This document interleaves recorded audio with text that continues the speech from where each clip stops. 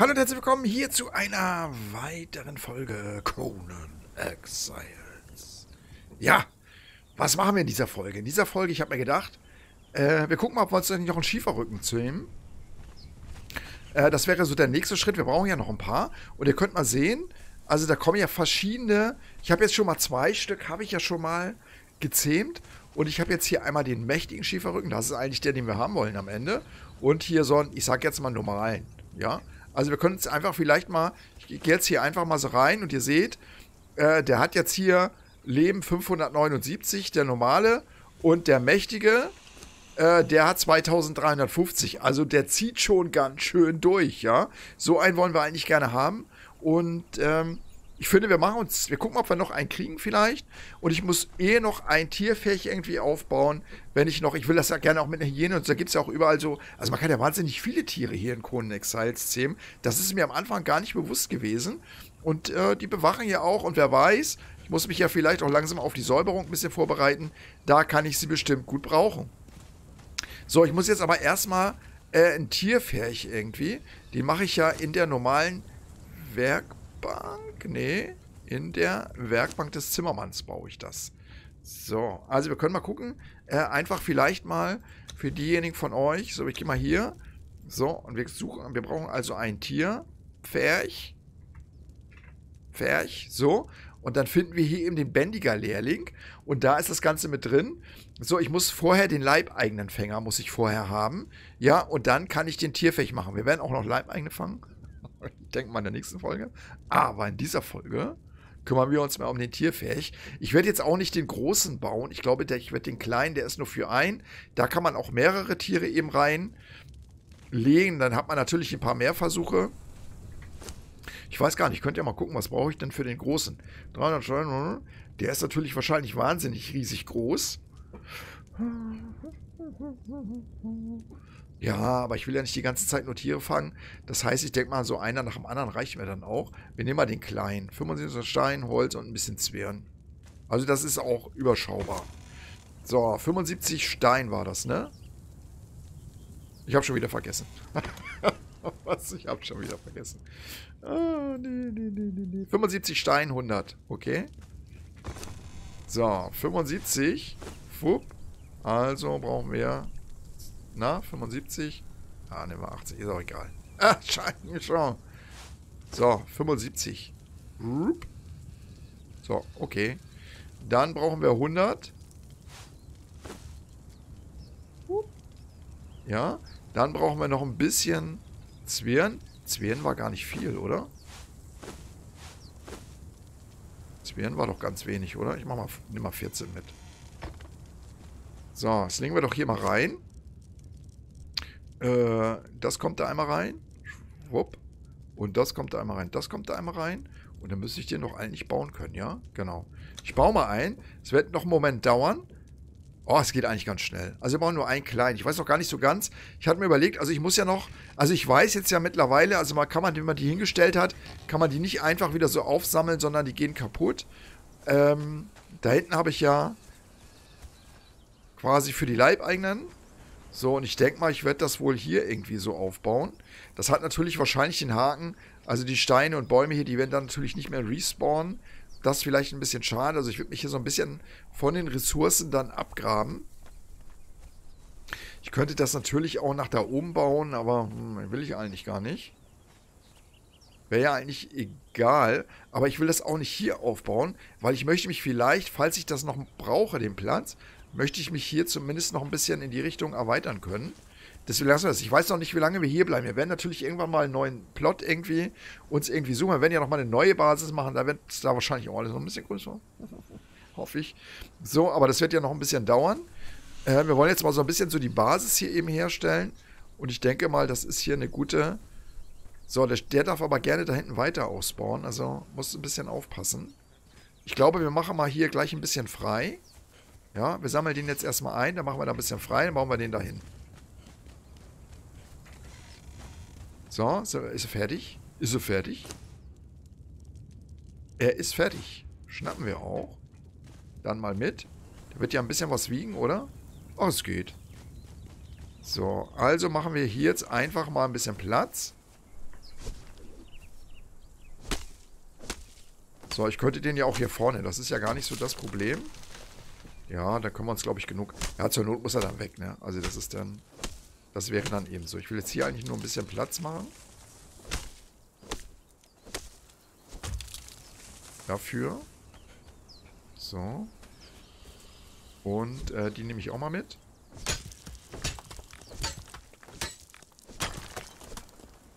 Und dann will ich das noch haben. Und ich glaube, dann haben wir hier nachher gleich einen schönen Bereich, wo wir sagen können, da können wir den gut hinstellen. Dann wäre das eben hier. Also nicht zu weit weg, ja? Na, habe ich das schon eingesammelt? Nee, doch. Guck mal, das ist doch eigentlich ein schönes Plätzchen. Wenn wir den so da vorne aufbauen, oder? Müsste eigentlich weit genug von allen weg sein. Das heißt also zumindest den Kram da hinten kriege ich noch. Ja, das müsste eigentlich ein gutes Plätzchen sein. Ja. So, bauen wir den mal auf. Weil der ist nämlich gar nicht mal so klein. So, ich möchte den so ein bisschen in die Richtung aufbauen. Überlagerung. Achso, das ist jetzt das... Gut, dann gehen wir da ein bisschen rüber noch. Guck mal, das ist doch ein schönes Plätzchen, oder? Ja, hier finde ich das eigentlich ganz gut. So, jetzt wollen wir einen Schieferrücken. Schieferrücken fressen so diverse Sachen. Aber äh, und da können, ich sag mal, gibt es eine bestimmte Wahrscheinlichkeit, dass da so ein mächtiger Schieferrücken draus wird. Und das kann man noch ein bisschen beeinflussen mit entsprechendem äh, Futter tatsächlich.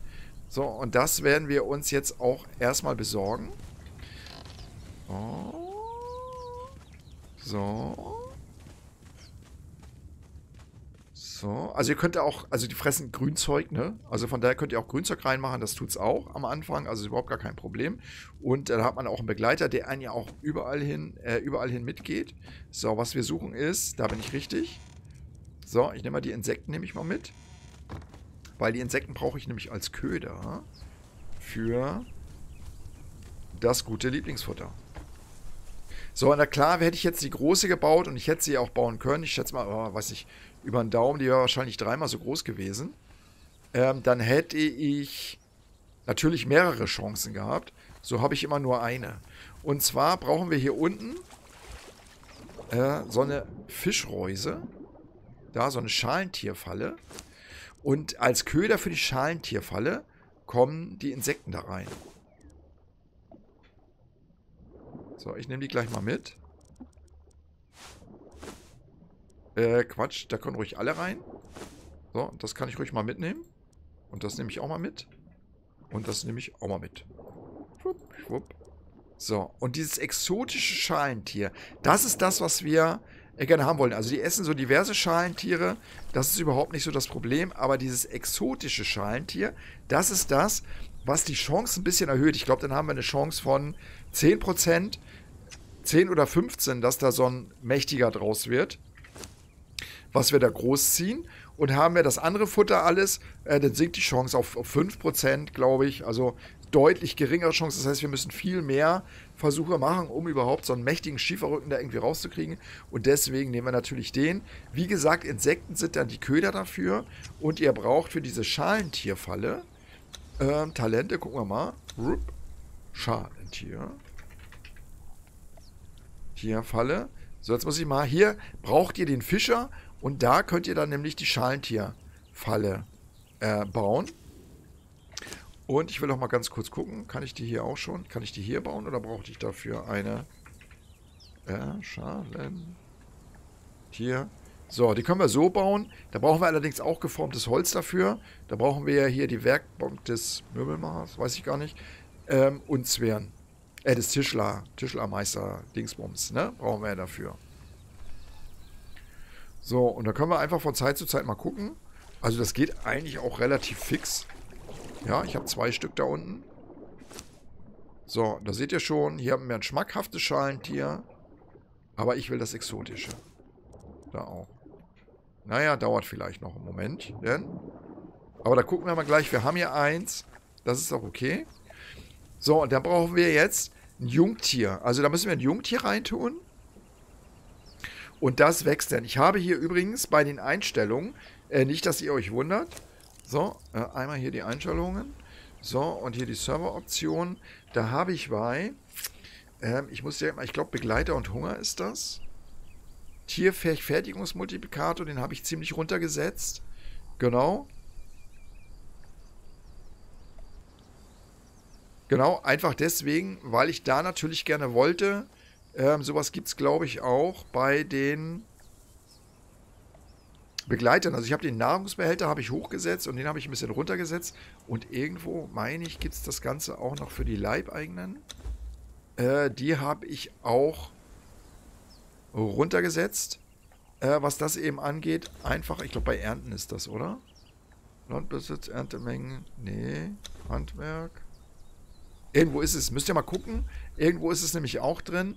Da gibt es, glaube ich, auch noch so eine Einstellung, wenn ich mich nicht irre, für äh, die Überzeugung von Leibeigenen. Ich weiß gar nicht, ich muss direkt gucken.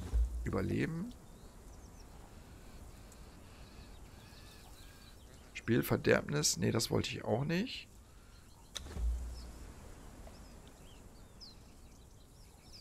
Leibeigenen Aufwachzeit.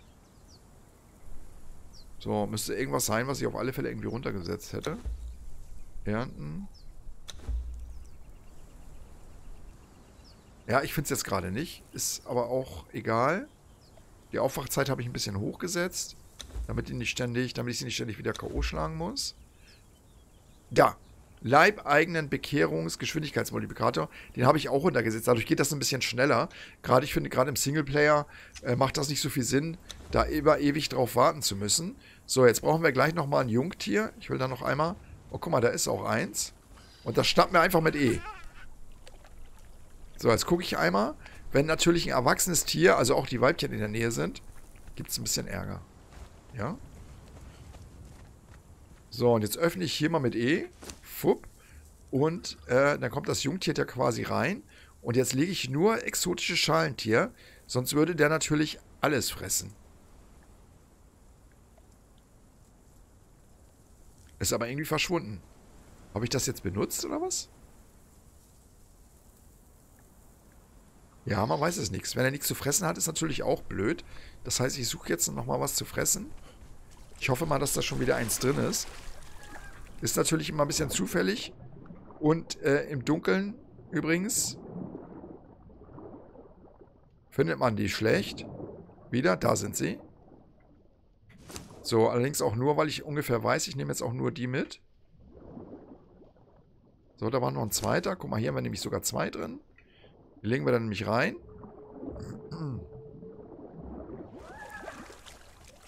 So, damit er mir nicht hier verhungern muss. Fupp. Und der wird hier nämlich schon bekehrt und dann legen wir nämlich... Achso, weil das erste schon gefressen hat.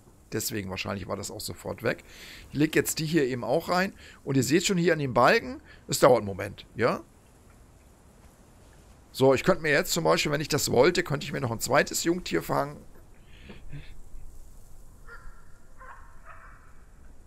So, da musste ich mal kurz husten. Habe ich kurz den Ton ausgestellt. Ähm, könnte mir noch ein zweites äh, zum Beispiel schon mal fangen. Hier müsste ich mich jetzt aber erstmal mit dem Muttertier auseinandersetzen. So, und dann, wenn da das Große raus ist, dann könnte ich das natürlich rausholen und könnte natürlich hoffen, wenn da noch Schalentiere übrig sind, äh, dann könnte ich gleich das nächste eben reinlegen. So, ihr seht schon, aber es geht auch relativ schnell. So, drei müssten eigentlich sogar reichen. Ich will mal gucken. Gehen wir nochmal runter. So, das ist natürlich ein bisschen blöd im Dunkeln. Ne? Also am besten bereitet man sich ein bisschen besser vor. Autsch. Ja. So, also die müssen auch unter Wasser platziert werden. Da drüben sind sie. Ich weiß es einfach. Mit, guck mal, da ist noch einer. So, da sind auch, ich nehme jetzt mal alle mit. So, den nehmen wir mit. So, und da sind auch noch genug. Oh, ich habe das Gefühl. Da war doch tatsächlich die Luft ein bisschen knapp. So, die lege ich da eben auch rein. Also muss jetzt nicht sein, ne? Kann natürlich sein, dass ein normaler draus wird. Aber dann wäre dem so. So. Und den Rest, ja, den Rest, den kochen wir einfach. So, ist schon ganz schön muckelig hier, ne? Ich muss noch ein bisschen dekorieren. Das mehr, also auf alle Fälle. So, guck mal, da kommt die da mal rein. Und die da mal rein. So, und dann kannst du die mal hier kochen, braten, was auch immer. So, und wir brauchen natürlich später, also weil die eben auch essen, brauchen wir auch so einen äh, Futtertrog. Den müssen wir eben aufbauen. Da ist auch noch Wildfleisch drin. Ich hatte auch mal eine Hyäne, die ist aber tatsächlich bei so einem Kampf gegen so ein Monster, Schieferrücken. Also der war da hinten gespawnt. Das Weibchen da hinten war so eine böse Variante. Aber ich kam schon mit der klar. Also wie gesagt, sonst einfach aus, äh, hatte ich in der letzten Folge gesagt, einfach mal kurz auslocken, geht dann eben auch. Dafür ist da noch das Wildfleisch drin und äh, Pflanzenfaser, weil die das fressen. Und ich kann eben auch sehen, wer davon ernährt wird. Das heißt also, wenn die zu weit wegstehen, dann würden die dann nicht mehr ernährt werden. Zum Beispiel eine Variante, die könnte ich auch hier vorne irgendwo hinbauen, weil ich die Wächter ja wahrscheinlich auch hier irgendwie haben werde. Ich weiß auch noch nicht, wir müssen uns ja irgendwann auch mal auf die äh, Säuberung vorbereiten. Da bin ich mir zum Beispiel noch gar nicht sicher, wie wir das eben machen. Klappt eben auch mit Hyänenjungen, das weiß ich schon. Guck mal, es dauert trotzdem noch so eine Zeit. Ich hätte es natürlich noch kleiner stellen können, aber zu klein wollte ich das auch nicht stellen. So, und deswegen habe ich das äh, so auch gelassen. So, guck mal, jetzt wird es auch schon wieder hell. Jetzt könnte ich unten nochmal bei der Fischreuse gucken. Ob da noch was ist. Wo waren die? Da drüben? Ist ja keine Reuse, ne? Ist ja... Ah ja, gut. Nehmen wir das. Aber man braucht schon ein paar Insekten. Ne? Manchmal ist natürlich, gerade wenn du sie brauchst, ja, ist das immer so, dann gehen da andere Tiere in die Falle. Immer so. Quasi mit allem. So, mal gucken. Und dann nehmen wir mal einen mit. Gleich. Nochmal. Äh, ach, hier wollte ich gar nicht her, ne? Ich wollte doch hier. Guck mal, ist auch echt fix, ne? Also diesmal fleißig dabei. Also das muss ich echt lassen. Immer fleißig dabei. Hatte ich die vorhin gar nicht reingelegt. So. Ist bestimmt lecker. Ich könnte mal was essen, oder?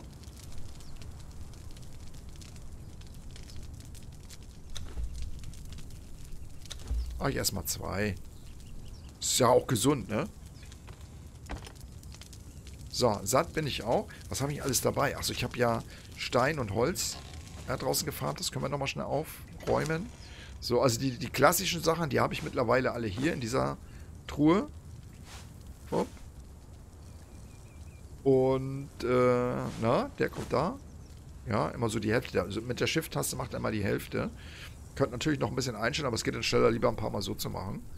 Und äh, der Rest, naja, Steine. Steine brauchen wir auch nicht. Ein bisschen was habe ich immer dabei. Fürs Reparieren. Ihr wisst schon, besser ist. So, können wir eigentlich auch gleich mal schnell machen. Na? So, reparieren, reparieren, reparieren, reparieren. Und dann gucken wir doch mal.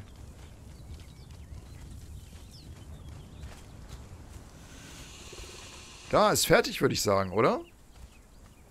Also ist jetzt zumindest kein mächtiger geworden.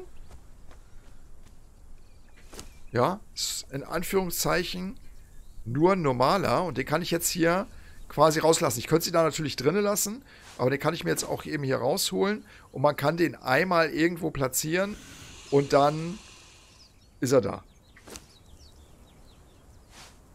So, und dann platzieren wir den einmal. Man kann ihn leider danach nie wieder, oder ist auch irgendwie logisch, nicht mehr ins Inventar packen.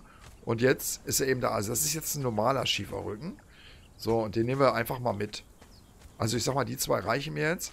So, den werde ich jetzt einfach mal sagen. Wir können hier noch ein paar Einstellungen machen. Verhalten, äh, Taktik, bleiben, verteidigen, Nahkampf bevorzugen, Fernkampf. Also Fernkampf hat er ja nicht, ne? Ich weiß nicht, ob das überhaupt was bringt bei dem. Was haben wir hier noch? So, Aktivität, bewache mich, Bereich überwachen, alle Gegner angreifen, Angriffsdistanz, Verborgungs, nichts angreifen. Also wir haben hier so ein paar Einstellungen eben. Ähm, ich würde mal sagen, alle Gegner angreifen. Und äh, was haben wir noch?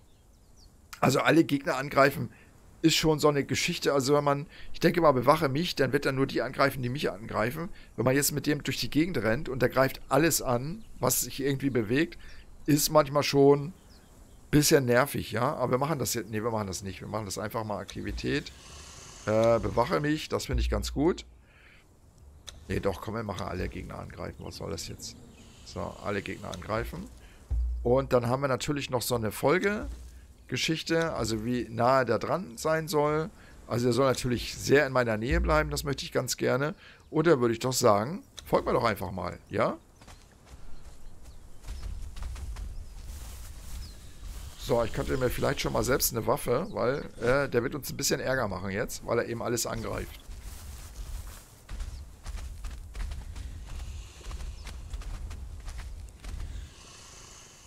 So, da hinten ist doch, glaube ich, sogar der andere Schieferrücken.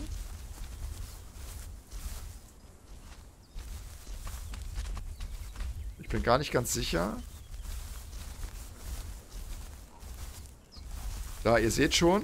Also, weil der fängt nämlich dann plötzlich an, alles anzugreifen, was manchmal echt schon ein bisschen nervig ist. So, aber der kassiert auch ordentlich ein, natürlich. Aber wie gesagt, das ist natürlich auch schon äh, eine Unterstützung. Und die steigen eben auch Stufen auf. Also eigentlich ganz praktisch. So, der hat ja noch ein bisschen. So, aber das ist eben der Haken, wenn man sagt, die sollen eben alles angreifen, ne? Weil normalerweise, der hätte mir nichts getan. Da hätte ich so dran vorbeilaufen können.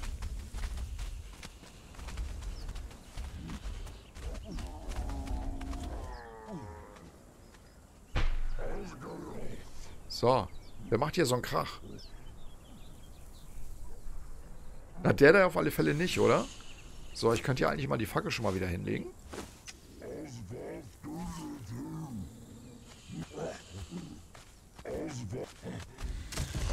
Oh, schön.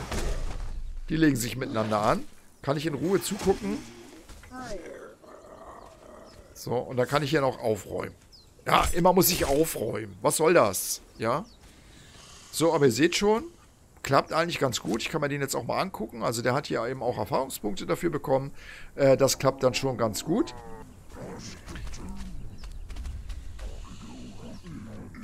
Ach, da sind noch welche. Oh, jetzt. Also bisschen müssen wir natürlich mitkämpfen.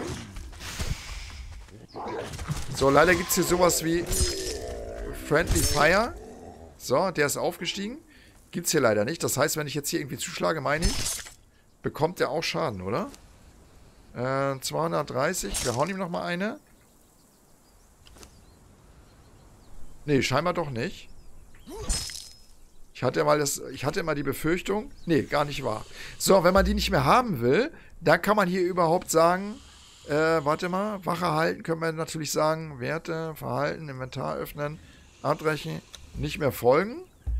So, und dann können wir das Band brechen. Dann verschwindet der übrigens. Ne? Also der wird nicht aggressiv, greift dann an. Ich habe es ausgetestet. ich war mir nicht ganz sicher. So, dann kommen wir mit. So, wir räumen jetzt aber erstmal hier auf. Zack. So, dann wisst ihr ja vielleicht noch so aus den letzten Folgen, was ich total blöd fand. Ähm. So, komm mit. Komm. Komm. Ist hier überhaupt noch irgendwo ein Junges? Dann würde ich das vielleicht tatsächlich sogar noch mitnehmen. Oh, da war ich... Da muss ich. So, was ich also... Also, ich sag mal, die folgen einem... Die Monster folgen einem ja nicht ins tiefe Wasser. Ähm, und dann hatte ich... Ich weiß gar nicht, was hatte ich zuerst? Ich weiß nicht, hatte ich einen Schieferrücken zuerst? Ich glaube, wir haben einen Schieferrücken mitgenommen. Und da war ich natürlich ins Wasser gegangen. Ich wollte da ja mal rüber. Und mal gucken, wie die sich so machen. Und dann drehst du dich um und stellst plötzlich fest, Mist. das kommt nicht mit. Ja, ich habe gedacht, ach, was soll ich denn damit? Soll ich jetzt überall eine Brücke bauen? Hab gedacht, so ein Quatsch. Und äh, irgendwann habe ich das aber mal ausprobiert. Und bin dann mal wirklich einfach rüber. Und tatsächlich ist es so, dass die dann sich äh, hinterher teleportieren. Ich finde es zwar ein bisschen unlogisch, ja. Äh, aber ist vielleicht auch ganz gut. Ich meine, wenn die Tiere alle nicht ins Wasser gehen, äh, dann ist das natürlich vielleicht auch ganz sinnvoll so, äh, dass das genau so ist, wie es ist. So, da hinten haben wir noch. So, die kämpfen jetzt ja momentan noch mit dem Krokodil. Lassen wir auch.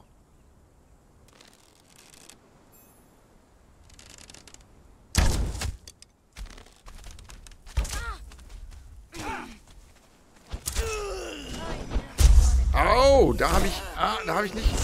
So, schnell weg. Da habe ich nicht aufgepasst.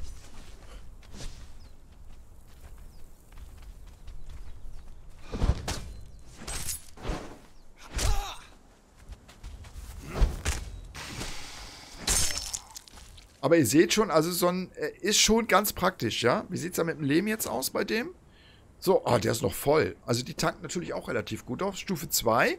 Und die kann man schon gut mitnehmen. Also der hilft einem schon. Außer, nee, das wollte ich nicht. Ich mag die ja immer nicht zerstückeln, ne? Was hat er denn dabei? Oh, Glas. Pflanzenfaser. So, also ich esse jetzt keine Maden mehr. Ich habe in der Regel habe ich genug zu essen dabei. So, ich weiß gar nicht, wo hast du denn den anderen Verband? Hast du den aufgefressen? Oder liegen hier noch irgendwo? Liegt noch irgendwo was rum? Nee, scheinbar aufgefressen. Ja, manchmal findet man die nicht wieder, ne? Manchmal sind die so schnell äh, weg. Ist mir aber auch schon passiert. Hab einen erledigt und konnte dann nichts mehr, hab nichts mehr davon gefunden. So, Pilze können wir hier nochmal mitnehmen. Habe ich eigentlich Pilze? Oder sind die alle verschimmelt? Was habe ich mit den Pilzen gemacht? Ich glaube, ich habe gar keine mehr, ne? Oder?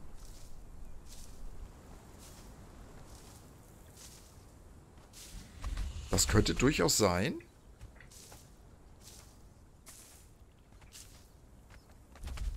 So, ja, da war ja nichts mehr. Ich mag die nicht zerstückeln. Also, äh, man kann die wohl auch benutzen.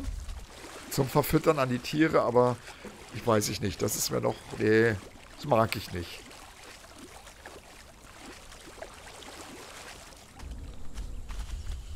So, und das kann man jetzt eben ein paar Mal machen. Ne? Und wenn es gut läuft, da hinten sind die auch wieder gespawnt jetzt. Und wenn es eben gut läuft, so, du kannst jetzt hier eigentlich äh, nicht mehr folgen. Ich möchte eigentlich lieber Verhalten, Aktivitäten, ich möchte lieber alle Gegner Bereich bewachen. So, und dann möchte ich gerne hier nicht mehr folgen, hast du sowieso. So, alles gut. Ja, doch, ich habe äh, Folgen noch drin. So, kannst ruhig da bleiben. Bleib mal da. Also E-Taste gedrückt halten. So, und der bleibt jetzt hier und hält eben die Augen auf. Ja, und das können wir jetzt eben ein paar Mal machen. Können wir uns immer welche schnappen. Ich könnte mir natürlich da hinten auch so ein, so ein Jungtier schnappen und dann gleich ins Wasser verschwinden. Dann habe ich mich zumindest mit dem da hinten nicht angelegt. Äh, Wäre natürlich auch eine Möglichkeit. Er hat auch so seine Vor- und Nachteile. So, aber äh, das ist eben der Trick. Mit dem exotischen Schalentier kann das eben klappen. Und wenn man dann so ein paar von diesen mächtigen hat, dann nimmt man natürlich lieber die mit und äh, von denen trennt man sich dann. Weil man darf nicht vergessen, also man muss sie ja auch immer füttern. Jetzt habe ich natürlich das Glück, die fressen Pflanzenfasern, das ist nicht so dramatisch. Und die werden davon eben äh, dann versorgt. Ja, genau, das wollte ich sagen. So, liebe Leute, das war's. Also wir haben jetzt hier unsere Verteidigung noch ein bisschen besser auf. Ich könnte natürlich noch, nee, lassen wir noch ein bisschen. Und ich denke mal, wir werden uns äh, beim nächsten Mal äh, tatsächlich mal schauen, ob wir nicht noch irgendwo Leibeigenen besorgen. Dann zeige ich euch das gleiche auch nochmal, wie das funktioniert. Und ich glaube, dann sind wir ja so auf dem Stand, dass wir dann sagen können, also dann habe ich alles so, was so zwischen den ersten sechs Folgen, dann der letzten Folge und äh, dieser Folge, dann habe ich alles so meinen Wissensstand euch auf Vordermann gebracht, äh, was das eben angeht. Und dann gucken wir, dass wir weitermachen. Also, da werden wir Metallwaffen bauen, dann werden wir uns mal umgucken. Da hinten ist ja noch diese Höhle, da habe ich noch eine Rechnung offen. Da will ich natürlich auf alle Fälle gerne rein. Und dann schauen wir mal, wie es weiterläuft. Ich würde mich freuen, wenn ihr dabei bleibt. Schreibt mir gerne in die Kommentare. Vielen Dank fürs Zuschauen. Bis zum nächsten Mal.